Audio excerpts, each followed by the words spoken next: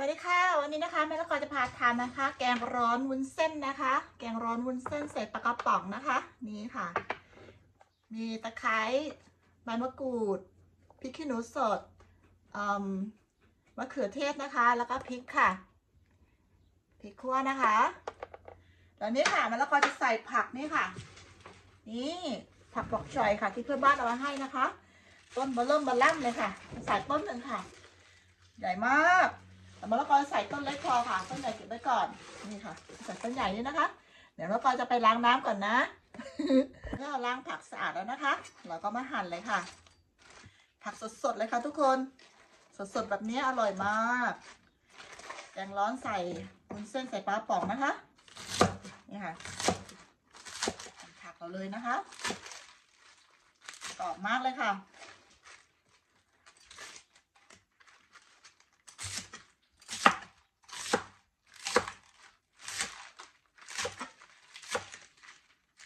รับรองเมนูนี้สุดแซ่บค่ะ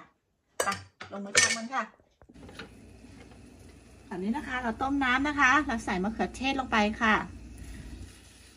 ใส่สมุนไพรเราไปก่อนนะคะมะเขือเทศใบมะกรูดตะไคร้นะคะ แล้วก็พริกขี้หนูค่ะพริกขี้หนูสดสีแดงนะคะใส่ลงไปค่ะ เราจะปรุงน้ำซุปด้วยไก่คนอนะคะ นี่ค่ะ ไก่คนอค่ะ ใส่ไก่คนอลงไปนะคะตอนนี้นะคะน้ำซุปของเราจะได้เข้มข้นค่ะ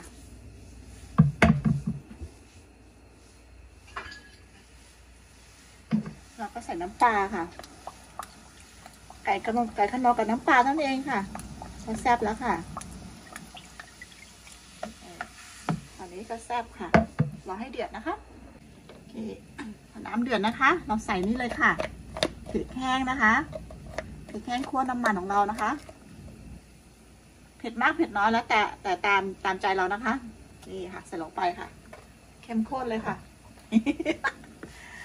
ทั้งพริกขี้หนูทั้งพริกคั่วแห้งนะคะเมื่อเดือดนะคะลองชิมดูนะคะ ว่าถูกใจหรือเปล่ารสชาติอร่อยแล้วค่ะ ไปนะคะ เราใส่วุ้นเส้นค่ะ ใส่เราวุ้นเส้นเราไปเลยนะคะใส่วุ้นเส้นเราใส่ผักลงไปเลยค่ะ นี่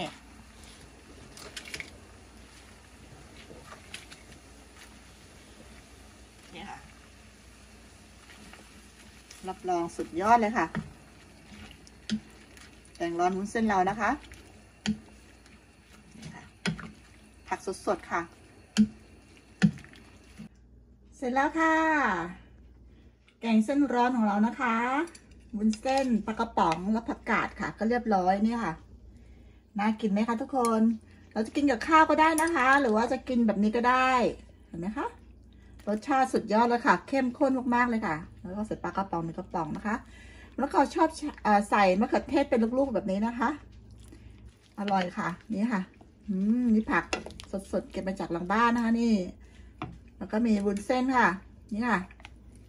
นี่ค่ะ กินแบบนี้ไม่อ้วนแน่นอนค่ะ ถ้าใครจะลดความอ้วนก็กินแบบนี้เลยค่ะ แต่มะละกอจะกินกับข้าวโอ้นี่ค่ะซุปซุปร้อนเนาะนี่ค่ะอู้เส้นร้อนค่ะเส้นร้อนก็ถึงต้องร้อนต้องร้อนต้องเผ็ดนะคะ ขอบคุณมากนะคะสำหรับคลิปนี้นะคะ อย่าลืมกดไลค์กดแชร์กดติดตามเพื่อเป็นกำลังใจให้มะละกอต่อไปนะคะ กราบขอบพระคุณมากๆค่ะบ๊ายบายค่ะ